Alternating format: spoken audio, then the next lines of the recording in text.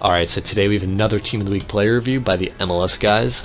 This time of Borek Dockal of the Philadelphia Union. He's got 5 goals and 9 assists for me in the 10 games I used him.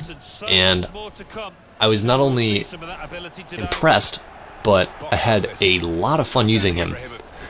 He can score with his left foot, that 4-star weak foot.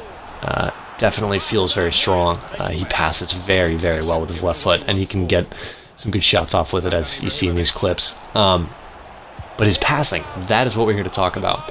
He's the first in form in Major League Soccer that kind of fits this new position of a true playmaker, uh, and that's really exciting.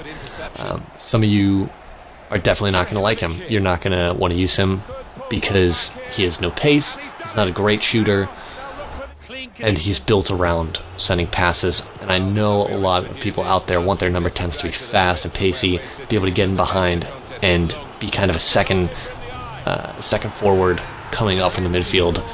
And you know that's not Borek Dockal. That's not what he's going to do. Um, so if that's what you're looking for, Carlos Vela is absolutely your guy.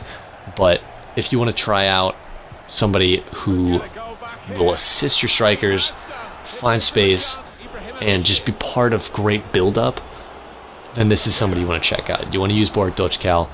I'm thoroughly impressed by how similar uh, he plays to the real life Dockal. Uh, he's just assisting assisting my players with absolute ease, sending great passes. Uh, it looks like his real self. It's it's amazing, and I had so much fun using him. Uh, he's not the best MLS inform, uh, but he's the first of this Ozil style player who is here to send passes, have great vision, and set up your other attackers. So if that's what you're looking for, definitely try him out. If you just want to see what he's like, because he's another MLS inform, try him out. There's no reason not to. He's going for discard price like most of the other informs, so you're not going to lose anything on him.